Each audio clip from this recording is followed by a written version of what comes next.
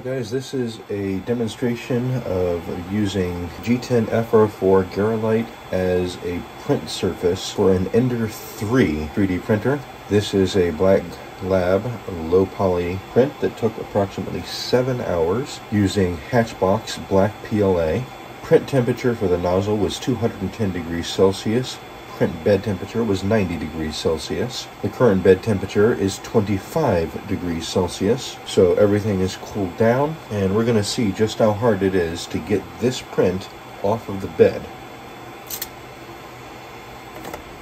Just like that.